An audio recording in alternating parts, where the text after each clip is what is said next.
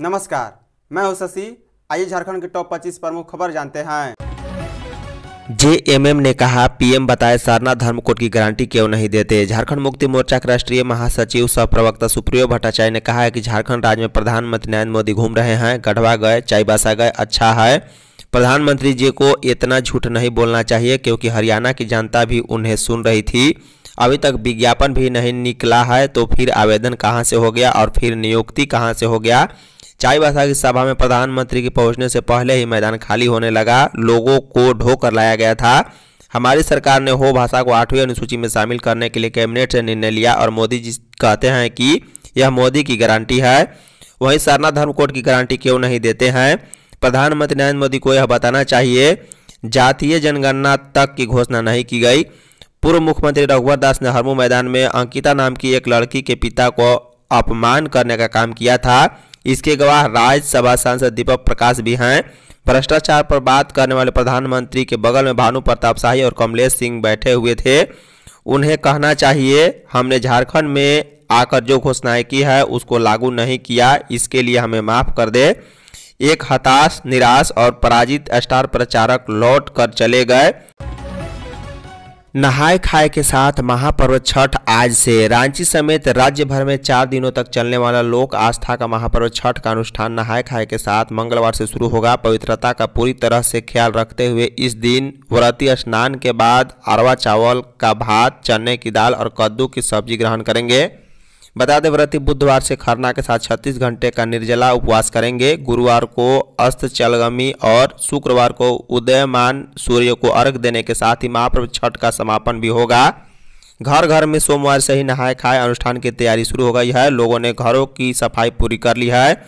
वहीं मंगलवार को व्रती सुबह स्नान कर पवित्रता के साथ अरवा चावल का भात, चने की दाल और कद्दू की सब्ज़ी बनाएँगे।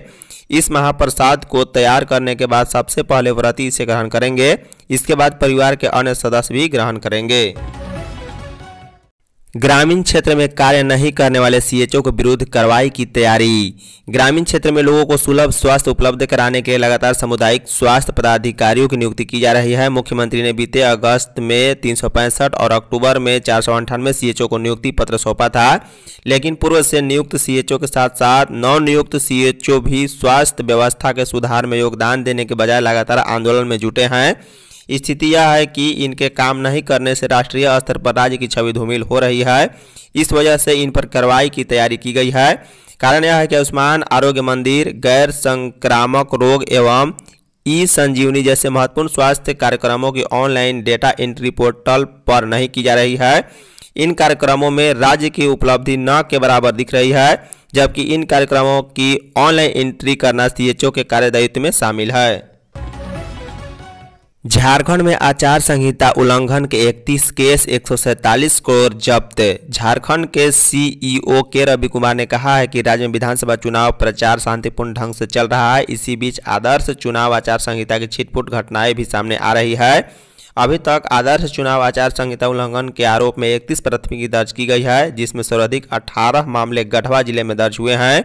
वहीं रांची, सिमडेगा और रामगढ़ ज़िले में दो दो मामले दर्ज हुए हैं, जबकि सरायकेला, धनबाद और पूर्वी सिंहभूम, देवघर जामतरा हजारीबाग और पलामू ज़िले में एक एक मामले दर्ज किए गए। अब तक राज्य में एक करोड़ के अवैध सामान और कैश जब्त किए गए हैं। वे सोमवार को धुरवा के निर्वाचन सदन में पत्रकारों से बातचीत कर रहे थे। बांग्लादेशी घुसपैठियों को झारखंड से करेंगे बाहर, शिवराज सिंह चौहान। बीजेपी के झारखंड विधानसभा चुनाव प्रभारी सह केंद्रीय मंत्री शिवराज सिंह चौहान ने सोमवार को खिजरी विधानसभा क्षेत्र के टाटी सिलवे में बीजेपी कार्यकर्ताओं को संबोधित किया। उन्होंने कहा है कि झारखंड में राज्य सरकार के संरक्षण में बांग्लादेशी घुसपैठियों को सभी सुविधाएँ उपलब्ध हो रही है। राज्य अभी भारी संकट के दौर से गुजर रहा है। एनडीए की सरकार बनते ही चुन चुन कर इन्हें बाहर का रास्ता दिखाया जाएगा। झामो और कांग्रेस वोट की राजनीति के लिए झारखंड और झारखंड वासियों की सुरक्षा से खिलवाड़ कर रही है। झारखंड को तबाह करने का षडयंत्र है। वहीं शिवराज सिंह चौहान ने कहा है कि 11 दिसंबर को सभी महिलाएँ के खाते में गोगो दीदी योजना के इक्कीस सौ रुपये पहुँच जाएँगे। एनडीए सरकार इकतीस सौ रुपये समर्थन मूल्य पर धान की खरीद भी करेगी और इसका भुगतान 24 घंटे में होगा। सभी का पक्का मकान बनेगा।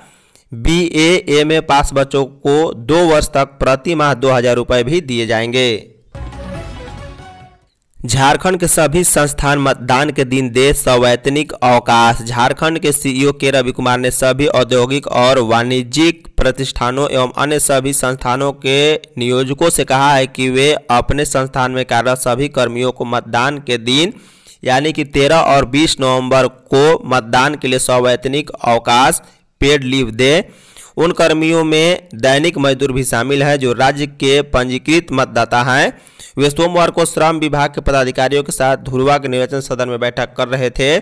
सीईओ के रवि कुमार ने कहा है कि झारखंड विधानसभा चुनाव 2024 के दिन सवैतनिक अवकाश के लिए श्रम विभाग द्वारा प्रचार प्रसार कराया जाए।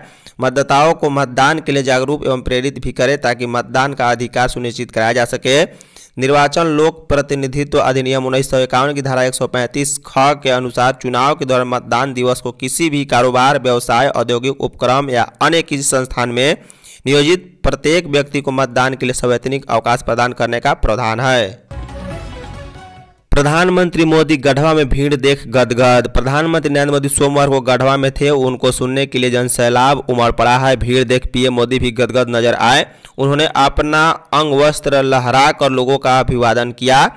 झारखंड विधानसभा चुनाव 2024 के लिए प्रचार करने गढ़वा प्रधानमंत्री की रैली में उमड़ी भीड़ का अंदाज़ा इसी से लगाया जा सकता है कि भाजपा के दो विधायक पीएम की सभा में नहीं पहुँच पाए।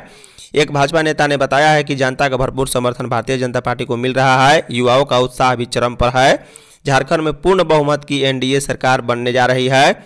हम गढ़वा की सीटों पर जीत दर्ज करेंगे। भाजपा नेता ने कहा, एक विजय संकल्प सभा में पीएम मोदी को सुनने के लिए दूर दूर से लोग आए हैं, गढ़वा से रेहला तक जाम लगा है। धनबाद में ज़मीन फटने से बना गोफ धनबाद के जोगता थाना क्षेत्र के 11 नंबर हरिजन बस्ती में सोमवार के अहले सुबह दिल को दहला देने वाली घटना सामने आई है, जब बस्ती के समीप अचानक ज़मीन फट गया और उससे आग की लपटें अचानक से बाहर निकलने लगी। पूरे इलाके की तापमान से बदलाव हो गया है, जिसके बाद लोग गर्मी से परेशान हो गए हैं और अपने घरों से बाहर निकल गए। इस दौरान पूरी बस्ती में अफरा तफरी का माहौल पैदा हो गया। सुबह की धुंध में भी लोगों को दिन का नज़ारा दिखाई देने लगा। वहीं भूधनसन से निकल रही जहरीली गैस के कारण लोगों को सांस लेने में भी दिक्कत होने लगी। किसी को कुछ समझ में नहीं आ रहा था कि करे तो क्या करे। सभी लोग सुरक्षित स्थान की तलाश में इधर उधर भाग रहे थे। जब सुबह की किरणें बाहर आई तो लोगों ने देखा कि बस्ती के समीप भूत धंसन हुई है, जिससे आग की तेज लपेट निकल रहा है। पीएम मोदी ने दी सुविधा, सुरक्षा, स्थिरता और समृद्धि की गारंटी। झारखंड में पहले चरण के चुनाव के लिए अब कुछ ही दिन बचे हैं। इसी बीच बीजेपी के स्टार प्रचारक और पीएम नरेंद्र मोदी ने गढ़वा में जनसभा को संबोधित किया। इस दौरान उन्होंने बीजेपी के संकल्प पत्र का ज़िक्र करते हुए कहा कि बीजेपी झारखंड में चार गारंटी के साथ चुनावी मैदान में उतरी है। उन्होंने कहा कि बीजेपी झारखंड में सुविधा, सुरक्षा, स्थिरता और समृद्धि की गारंटी के साथ चुनाव लड़ेगी। पीएम मोदी ने कहा है कि माताओं, बहनों और बेटियों के कल्याण के लिए झारखंड बीजेपी संकल्प पत्र में कई संकल्प लाई है। पीएम मोदी ने गोगो दीदी योजना का ज़िक्र करते हुए कहा है कि इस योजना के तहत हर महिला को इक्कीस सौ रुपये दिए जाएँगे। वहीं झारखंड बीजेपी सरकार बनने के बाद पाँच सौ रुपये गैस सिलेंडर देगी।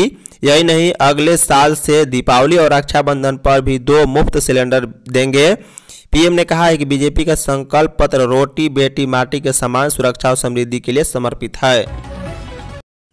छठ के लिए बिहार जाने वाली ट्रेनों में भारी भीड़। छठ महापर्व को लेकर बिहार जाने वाली ट्रेनों में ज़बरदस्त भीड़ हो रही है। रेलवे स्टेशन यात्रियों से खचाखच भरा हुआ है। मौर्य एक्सप्रेस और पटना जाने वाली ट्रेनों में किसी श्रेणी में सीट उपलब्ध नहीं है। मौर्य एक्सप्रेस में चार से छह नवंबर तक स्लीपर और एसी में सौ से ज़्यादा वेटिंग मिल रहा है। वहीं पटना जाने वाली ट्रेन में भी चार से छः नवंबर तक स्लीपर और एसी में सीट उपलब्ध नहीं है। रविवार को रांची और हटिया स्टेशन से खुलने वाली इन दोनों रूट की ट्रेनों में काफ़ी भीड़ रही। यात्री ट्रेन में चढ़ने के लिए मकसद करते दिखे, सिर पर सामान लेकर बोगी में प्रवेश करते नज़र आए हैं। धनबाद में सड़क हादसा, तीन लोगों को पिकअप ने कुचला। धनबाद के गोविंदपुर जीटी रोड फकीरडीह के पास एक पिकअप वैन ने एक महिला समेत तीन बच्चों को बुरी तरह रौन दिया है, जिसमें तीन की मौत घटनास्थल पर ही गई। वहीं एक को गंभीर अवस्था में इलाज के लिए अस्पताल में भर्ती कराया गया। इस घटना के बाद गुस्साए लोगों ने एनएच जाम कर दिया है और गाड़ियों की लंबी कतार लगी हुई है। मौके पर पुलिस प्रशासन लोगों को समझाने का प्रयास कर रहे हैं। जानकारी के अनुसार फकीरडी गाँव के ज़फ़र मंसूरी की 26 वर्षीय पुत्री, रूबी खातून अपनी 8 वर्षीय पुत्री, सिपत परवीन और पंद्रह वर्षीय बहन जानवी उर्फ़ आयत परवीन पड़ोसी दुर्गेश शाह की पुत्री को ट्यूशन के लिए रोड पार के लिए सोमवार सुबह सात बजे अपने दरवाजे पर खड़ी थी। सिसई विधानसभा सीट पर 2000 के बाद लगातार दूसरा टर्म नहीं जीत सका है कोई विधायक। सिसई विधानसभा उन्नीस सौ इक्यावन ईस्वी में बना था, यह अनुसूचित जनजाति सीट है। अब तक इस क्षेत्र की जनता ने सत्रह विधायक चुने हैं। बता दें, सिसई विश्व के पहले विधायक बलिया भगत थे, परंतु झारखंड बनने के बाद कोई विधायक लगातार दूसरी बार चुनाव नहीं जीत सका है, क्योंकि सिसई विश्व क्षेत्र की जनता एक चुनाव के बाद दूसरे चुनाव में विधायक को हरा देते हैं। इसलिए वर्तमान विधायक जिग्गा सुसारन होरो के सामने लगातार दूसरी बार विधायक बनने की चुनौती रहेगी, क्योंकि सिसाई विश्व क्षेत्र की जनता का मूड हर पाँच साल में बदल जाता है। गढ़वा में पाँच घायलों को मंत्री मिथिलेश ठाकुर ने पहुँचाया अस्पताल। गढ़वा ज़िले के मेराल थाना क्षेत्र के एन एच पर लगमा के पास ऑटो और ट्रक की टक्कर में पाँच लोग घायल हो गए हैं। घटना के बाद मौके पर झामू प्रत्याशी सह मंत्री मिथिलेश ठाकुर पहुँचे और सभी घायलों को अपनी गाड़ी में बैठाकर इलाज के लिए सदर अस्पताल ले गए। बताया जा रहा है कि मेराल थाना क्षेत्र के एन एच नेनुआ मोड़ पर सोमवार को टेंपो और ट्रक में टक्कर होने से पाँच लोग घायल हो गए उसी समय स्थानीय विधायक सह मंत्री मिथिलेश ठाकुर गुजर रहे थे। उन्होंने तुरंत अपनी गाड़ी रोकी और अपने वाहन से घायलों को सदर अस्पताल ले गए। पूछे जाने पर मंत्री मिथिलेश ठाकुर ने कहा है कि मैं कल्पना सोनी की चुनावी सभा से वापस आ रहा था। इसी दौरान नेनुआ मोड़ के पास टेंपो दुर्घटना में लोग घायल हो गए थे। मैंने तुरंत रोक कर बिना समय बिताए अपने वाहन से सभी को इलाज के लिए सदर अस्पताल लेकर गए। झारखंड मौसम, झारखंड में ठंड ने दस्तक दे दी है, हवा का रुख बदल गया है। अब हवा पहाड़ों से आ रही है, जिसका असर भी दिखने लगा है। राज्य के अधिकतर जिलों का न्यूनतम तापमान 20 डिग्री सेल्सियस से नीचे चला गया है। अगले कुछ दिनों में इसमें एक से दो डिग्री सेल्सियस और गिरावट का अनुमान है। मौसम साफ़ रहने के कारण अधिकतम तापमान 30 डिग्री सेल्सियस के आसपास रह रहा है। अभी राजधानी सहित कई जिलों में बादल छाए रहेंगे। इस कारण कई जिलों का अधिकतम तापमान में 30 डिग्री सेल्सियस से नीचे रहेगा। बता दें, रांची का न्यूनतम तापमान सोमवार को 16 डिग्री सेल्सियस, जबकि अधिकतम तापमान 29 डिग्री सेल्सियस के आसपास दर्ज किया गया है। पुलिस की कार्रवाई में देरी की वजह से कोर्ट में मुकदमे लंबित। राज्य में पुलिस की कार्रवाई में देरी की वजह से कोर्ट में चल रहे पुराने केस का ट्रायल पूरा नहीं हो पा रहा है। ऐसा इसलिए हो रहा है क्योंकि पुलिस द्वारा समय पर अभियुक्त के खिलाफ कोर्ट से जारी गैर जमानती वारंट, इश्तेहार और कुर्की का तामील नहीं किया जाता है। न ही समय पर तामील से संबंधित रिपोर्ट अदालत में सौंपी जाती है। जब पुलिस मुख्यालय ने मामला हाई कोर्ट से जुड़ा देख, इसे प्राथमिकता में लेकर खेत प्रकट करते हुए सभी जिला के एसपी से रिपोर्ट की मांग की, तभी समय पर पुलिस मुख्यालय को रिपोर्ट उपलब्ध नहीं कराई गई। पुलिस मुख्यालय की रिपोर्ट के अनुसार हाई कोर्ट एससीएमएस के मेंबर सेक्रेटरी ने 4 अक्टूबर 2024 को मामले में डीजीपी को पत्र लिखा था। इसमें विभिन्न न्यायालयों से लंबित वारंट के बारे में जानकारी दी गई है। ऐसे वारंट जिनका तामिल पुलिस द्वारा नहीं किया गया है, पत्र में इस बात का भी निर्देश दिया गया था कि लंबित वारंट से निष्पादन की दिशा में त्वरित कार्रवाई का निर्देश दिया जाए। स्टेट रोड साइकिलिंग में रांची विजेता मेगा स्पोर्ट कॉम्प्लेक्स में आयोजित ग्यारहवीं झारखंड राज्य स्तरीय सीनियर, जूनियर व सब जूनियर रोड साइकिलिंग प्रतियोगिता सोमवार को संपन्न हो गई है इसमें तिरानवे अंकों के साथ रांची की टीम विजेता बनी, जबकि तैंतीस अंक के साथ वेस्ट सिंहभूम की टीम उप विजेता बनी है। इस प्रतियोगिता में विभिन्न जिलों से 220 बालक बालिका, महिला व पुरुष खिलाड़ी शामिल हुए थे। समापन समारोह में मुख्य अतिथि भू राजस्व विभाग के विशेष सचिव शशि प्रकाश झा, विशिष्ट अतिथि झारखंड ओलंपिक संघ के महासचिव डॉक्टर मधुकांत पाठक और झारखंड एथलेटिक्स संघ के सचिव एस के पांडे ने विजेता टीमों और खिलाड़ियों को पुरस्कृत किया है। इस अवसर पर झारखंड साइकिलिंग संघ के महासचिव शैलेंद्र कुमार पाठक, उपाध्यक्ष सुरजीत कुमार भी मौजूद थे। चंपाई के अपमान के लिए झामो को सजा देने का वक्त। झारखंड में तेरह नवंबर को पहले चरण का चुनाव है इसी बीच गढ़वा के बाद पीएम मोदी चाईबासा पहुँचे हैं। पीएम मोदी ने यहाँ अपना संबोधन दे रहे हैं और पीएम मोदी ने यहाँ जेएमएम और कांग्रेस पर जमकर निशाना साधा। पीएम मोदी ने कहा है कि गरीबों का संघर्षों को मैंने जिया है। दस साल में पच्चीस करोड़ लोग गरीबी रेखा से बाहर आए हैं। हमारी सरकार बनी तो किसान का धान एमएसपी पर इकतीस सौ रुपये प्रति क्विंटल देगी। वहीं कांग्रेस ने आदिवासी को गरीब रखने का काम किया है। जिनको कोई नहीं पूछता है, उनको मोदी पूछता है।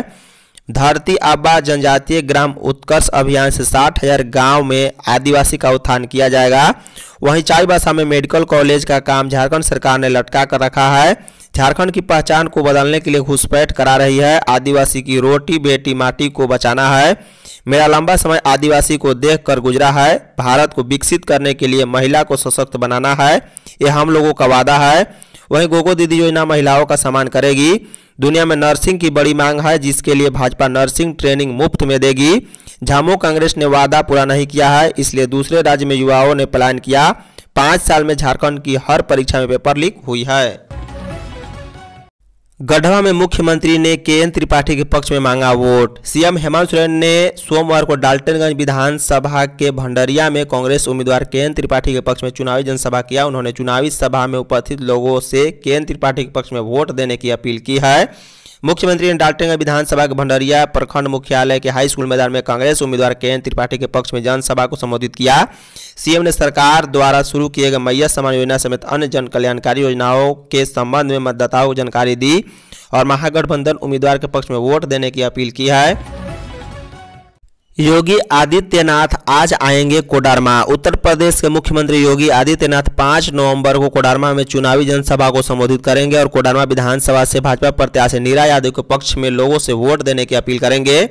यूपी के सीएम योगी आदित्यनाथ का चुनावी जनसभा डोमचांच के सीएम हाई स्कूल मैदान में होगा। सभा की शुरुआत सुबह 10 बजे से होगी। इसमें कोडरमा विधानसभा के कार्यकर्ता और नेता के अलावे बरही और बरकाटा विधानसभा के मंडल कार्यकर्ता भी शामिल होंगे। कार्यक्रम को लेकर व्यापक तौर पर तैयारी की जा रही है। बड़े से मंच के अलावे करीब दस हज़ार लोगों के बैठने की व्यवस्था भी की जा रही है। झारखंडियों को उनका अधिकार कब मिलेगा? सीएम हेमंत। प्रधानमंत्री नरेंद्र मोदी के झारखंड दौरे को लेकर मुख्यमंत्री हेमंत सोरेन ने एक बार फिर झारखंडी हक अधिकार की बात प्रधानमंत्री के समक्ष रखी है। हेमंत सोरेन ने एक्स पर पोस्ट कर कहा है कि हो मुंडारी कुड़ुक उर्रा और भाषा को आठवीं अनुसूची में शामिल करने के लिए केंद्र सरकार को पत्र लिखकर आग्रह किए हुए चार वर्ष से अधिक समय हो गया।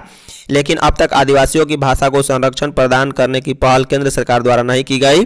आखिर कब तक झारखंड के आदिवासी अपनी पहचान सुरक्षित करने के लिए संघर्ष करते रहेंगे? क्या केंद्र सरकार आदिवासियों को अधिकार नहीं दे सकती? प्रधानमंत्री झारखंड आए हैं, ऐसे में यहाँ के आदिवासियों को उनकी पहचान और अधिकार देने की कृपा करें। प्रधानमंत्री झारखंडियों को उनका अधिकार कब दे रहे हैं? हेमंत सोरेन ने कहा है कि प्रधानमंत्री के झारखंड दौरे के अवसर पर विनम्रतापूर्वक उनसे आग्रह किया गया है कि कोयला कंपनियों द्वारा राज्य का बकाया एक लाख छत्तीस हज़ार करोड़ भुगतान करने की कृपा करें। धन्यवाद।